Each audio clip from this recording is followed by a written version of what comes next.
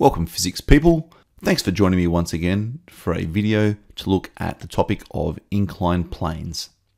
Today we'll be examining a couple of problem solving activities to do with an inclined plane. So you can see in front of you, an inclined plane is simply a wedge if you like, or an incline at a particular angle that has an object placed upon it that's free to move. So as a starting point, let's consider the following situation looking at a stationary object sitting on a flat surface. All objects have a force of attraction towards the Earth, and that's what we call our gravitational force, as shown in this particular diagram, Fg. In response to that, the surface pushes back up against the object with what we call a normal reaction force, Fn. The sum of these two forces is zero, because this object isn't accelerating up or down. So we can say that the vector addition of the normal reaction force and the gravitational force is zero meaning that the normal reaction force is equal to the gravitational force, but the negative sign represents it's in the opposite direction, as is shown in the diagram. And of course, in this example, there's no forces pushing left and right, so it's not applicable to consider them. So overall, there's a net force of zero in this situation with an object sitting flat on a surface. We can improve the expressions by replacing Fg, the force due to gravity, by the equation mg, which is how you calculate the gravitational force. So we can update these equations with mg. Okay, now let's consider our inclined plane. So we have here an object sitting on an inclined plane with an angle theta. You'll notice in the top left corner, instead of considering forces up, down, left and right, we're now considering forces that are down the plane, up the plane, and perpendicular to the plane. This makes our mathematics a lot easier. So first of all, let's draw in our forces. We have a gravitational force once again operating straight down. Our normal reaction force. Now, the word normal means 90 degrees.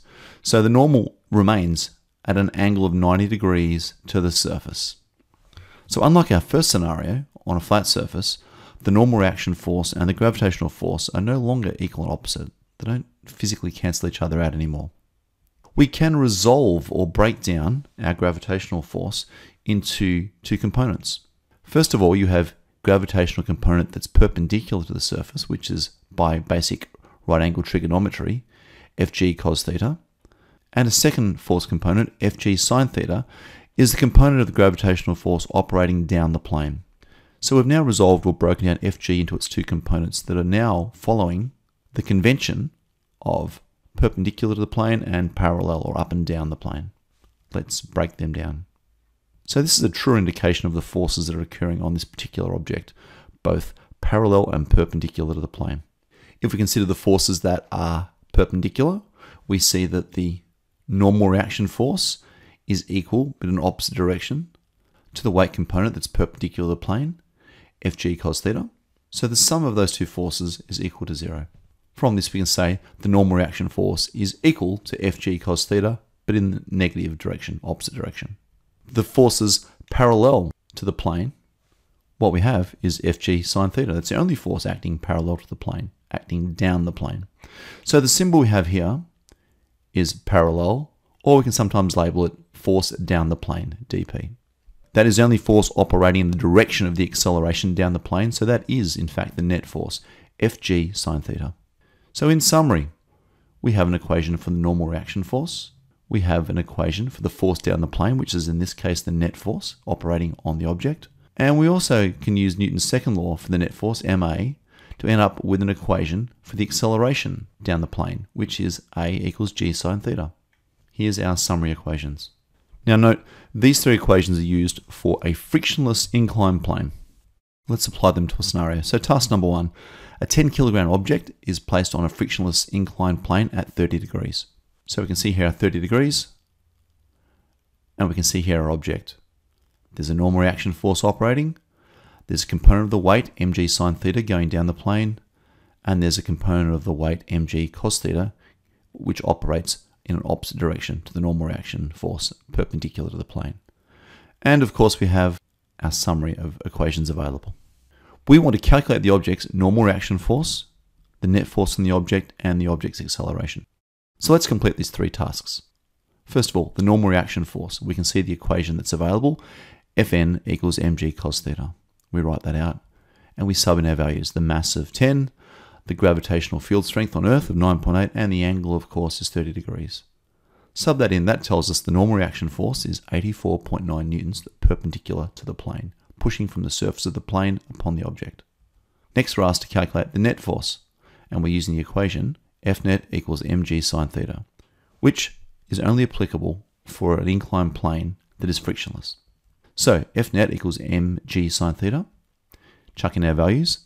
m equals 10, g equals 9.8 newtons per kilogram, and the angle was 30 degrees. That tells me the net force is 49 newtons down the plane. Finally, we're asked to work out the acceleration a equals g sine theta. So g is 9.8 meters per second per second, free fall due to gravity, and the angle was 30 degrees. That gives an acceleration down the plane of 4.9 meters per second per second. Quite simple to do when we're using an inclined plane without friction. Let's consider scenario 2, which is exactly the same scenario, however we've added a friction force of 10 newtons. This can be shown in our diagram. Here's our friction force. Same approach again, we want to calculate the object's normal reaction force, the object's net force, the acceleration of the object. Let's examine the equations that we have available to us. So the force of the normal is still mg cos theta. The force down the plane, the component of the weight force operating down the plane, is mg sine theta. We need to do a little bit more work when we work out net force and acceleration in this example. But let's have a go. First of all, our normal reaction force. Using the equation Fn equals mg cos theta. Exactly the same approach as previous, it hasn't changed. The normal reaction force is 84.9 newtons perpendicular to the plane. Let's look at the net force. To calculate the net force, we must consider all forces operating parallel to the plane. So we have mg sine theta pulling down the plane, and opposing that, we have the force of friction going up the plane. Friction always occurs in an opposite direction to the motion of the object. So in this case, it's going up the plane. So the net force is the force down the plane minus the opposing force of friction. We can sub in our values. Force down the plane is mg sine theta, and then we can do our calculations. Where the mass is 10, gravity is 9.8, the angle is 30 degrees, and we're told in the question that the force due to friction is 10 newtons. That ends up being 39 newtons down the plane. Note in this scenario, the net force is not just simply mg sine theta, because we have to consider the opposing force due to friction. We have to look at this question in the context as presented. Finally, we want to work out the acceleration. We know the net force down the plane is 39 newtons, and we know the net force is equal to m times a, following Newton's second law. And so to find the acceleration, we divide 39, the net force, by the mass of the object, which was 10, giving us an acceleration down the plane of 3.9 meters per second per second. These questions are not too tricky as long as one, you have a diagram, two, you label it correctly, and three, you think about the physics operating in terms of forces up and down the plane and perpendicular to the plane.